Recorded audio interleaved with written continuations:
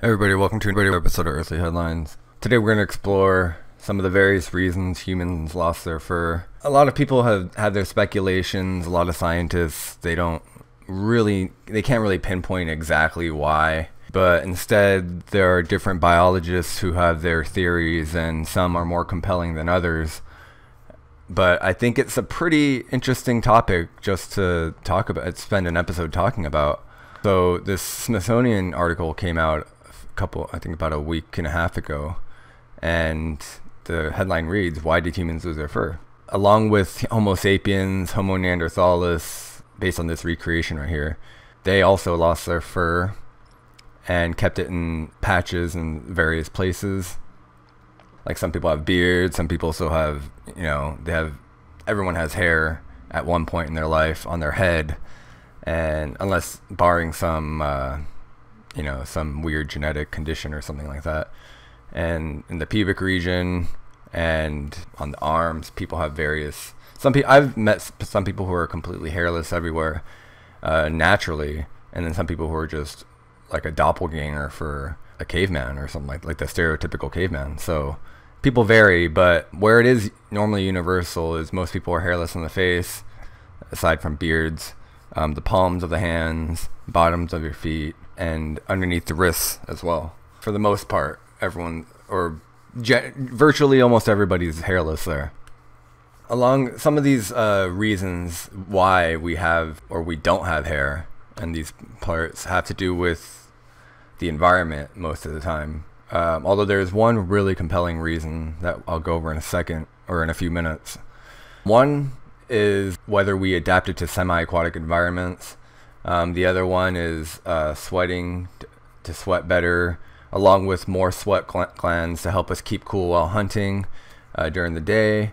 Another reason was uh, we lost our fur to allow us to read each other's emotional responses. Before we get into each of those, and some of those are some some carry uh, more weight than others. Some of those theories, but going over them, I think is beneficial just because we can kind of weed out some of the nonsense ones and take some of the good ones and apply it to the path toward the truth. We'll look at why, chemically speaking, and um, the physical reasons why people lose hair. We have this area that I mentioned earlier called the plantar skin. So under uh, your palms of your feet, or bottoms of your feet, palms of your hands, etc. This area is is rich in a protein, in, uh, an inhibitor protein called DKK2, which is not present in high levels in those spots, in those hairless spots. So what it does is it blocks this the signaling pathway called WNT, which controls hair growth. So some bald people they'll have this they'll have this uh, protein inhibitor in spots where they can't grow hair. DKK2 is not the end all be all inhibitor protein that that blocks uh, WNT, the WNT pathway. But then there there are a few others, and it's just a big piece of the of the hairless formula. It's not the it's not the only reason. Uh, this is a quote from the uh, from the doctor. Uh, what's her name? Millar. She says DKK2 is enough to prevent hair from growing, but not to get rid of all control mechanisms. So there's a lot more to look at. So it's just one piece of the puzzle.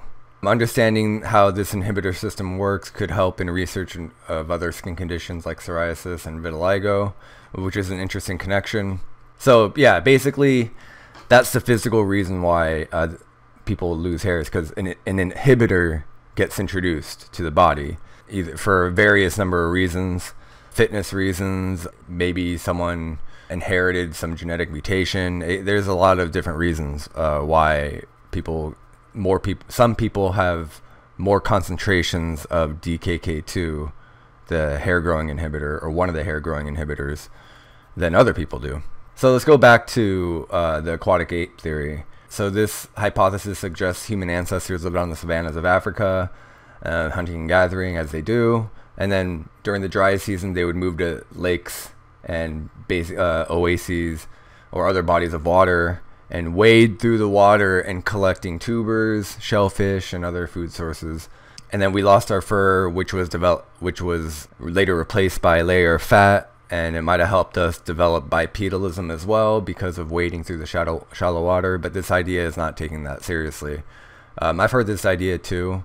I mean, it carries a little bit of weight, but I don't think that was the driving factor uh, as to why we lost our hair. I think it gets more, it gets a lot more deeper than that.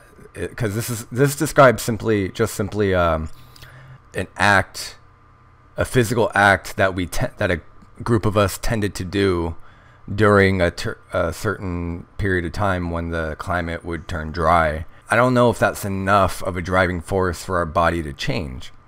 It might have been, again, a lot of this, a big theme of this topic is bits and pieces. So uh, there are a lot of contributing factors. There's not just one smoking gun, but it's like a conglomeration of a bunch of different factors that pushes our body toward becoming hairless and bipedal. So a, a lot of um, again that might be a reason. The aquatic ape theory might again it's not the reason though. There's another uh, theory though that when the forests receded into the savanna, people had to develop a new method of thermoregulation, which is uh, body uh, maintaining the optimal body uh, temperature. So losing that fur makes more sense because it made it possible for us to hunt when it got hot and prevent us from overheating and this coincided with an increase in sweat glands, which kept us even more cool. And later on, when we discovered fire and clothing, it just sort of reinforced this. Um, it kind of reinforced this unnecessary fur from gro- growing. Uh, our our body didn't need it anymore, uh, because we had other ways to warm ourselves when it got cold. When it got hot, we could just remove the articles of clothing and then sweat, and then we'd be good. Furless also going furless uh, also reduce the impact of lice and other parasites.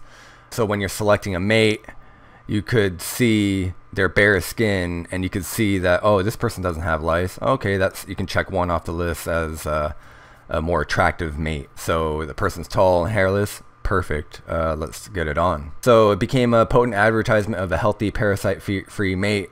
Um, that's definitely a sexual, the sexual selection, so to speak, is definitely a strong uh, pusher toward that. I guess that genetic direction of going hairless again. More DKK2, more other uh, hair inhibitor, uh, protein inhibitors. But here's the most interesting part of the article, and it has to do with the person's eyes. So losing hair on the face and other parts of the body opened up this emotional communication uh, channel of evolution, uh, of evolutionary opportunity, essentially, because uh, many animals in the wild they have two. they only have two types of cones, which, if you guys don't know, cones uh, are receptors in the eye that catch and detect color, and he, in humans we have three. So our third cone gives us more power, so to speak, to detect hues in the middle of the spectrum, meaning we, we're good at detecting different shades of red, for example, or different shades of blue. And it seems that ability seems unnecessary just strictly for hunting or tracking. So um, the argument uh, that we have three cones mainly for better hunting, it doesn't carry as much weight as because of the third cone's ability uh, to detect, differentiate between this shade of red and that shade of red, or this shade of blue and that shade of blue. Um, that doesn't really help you when you're hunting because when you're hunting, you just want to detect movement for the most part, and distance and depth per- perception and stuff, which comes from having two eyes in the front. Changizi, he's a, he's a doctor uh, that is proposing this theory. He proposes that the third cone allows us to communicate non-verbally by observing color changes in the face. So our eyes become sensitive to the oxygenization of hemoglobin under the skin. So we could understand when someone's uh, embarrassed when they blush, or um, when we look at a baby, if it looks a little green or a little bit blue, they might be sick. Uh, we can detect sexual attraction again through uh, a different type of blush, blushing, right? or when someone's really red, they might be angry. So all of these emotional states we're able to detect because of this third cone. And if humans lost their fur, we'd be able to uh, better catch on to these cues, and ergo, better communication, better chance for survival, etc. So that I don't know if that was the driving factor again, but it seems like a really good reason uh, backed with a lot of science. And even further, in 2006, Changizi uh, published a paper that primates with bare faces and bare asses, they tended to have three cones like humans as well. Whereas the fuzzy face monkeys, they only have two cones. So, uh, according to the paper, anyway, the hairless uh, faces and color of vision seem to run together. They seem to uh, be strongly correlated. Which, if I mean, if they see it in monkeys, that seems pretty. That's that, so to speak, right? That seems pretty open and shut. That three cones in primates, anyway, and in humans, seem to co- correlate with uh, the how bare the skin is, which makes a lot of sense. There's nothing else in nature that uh, changes color like that based on emotion, especially. That seems to be unique to primates. Although lizards and birds have three cones as well, but their third cone is different from ours because it, it's better suited to detect different colors on the spectrum, whereas ours were more in the center. So let me know what you guys think. You, are there any other reasons that I haven't gone over? I think this is a pretty interesting article just to understand uh, not even not even evolution, but just the reason why things play out the way they do in terms of development. So it's kind of like a battery. So someone's eyes have three cones. So that's one separate part of the human anatomy to better de- detect someone someone else's emotional response, a different biological entity with changing skin color, which is a different part of the body that also develops. So the, we have this weird co-relationship going on this biological relationship amongst people of individuals within our own species and we kind of developed in this correlation correlated co-relationship so to speak.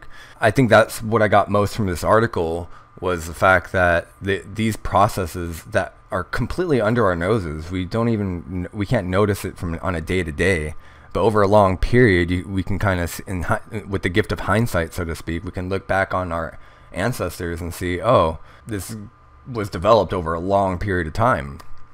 And I think just being aware, acutely aware of something like this, makes looking at other other archae- archaeological headlines, other events and discoveries in science, it in the long run, I think it helps us build this foundational knowledge of what's possible, especially with the human body. So let me know what you guys think in the comments, and I'll talk to you guys later.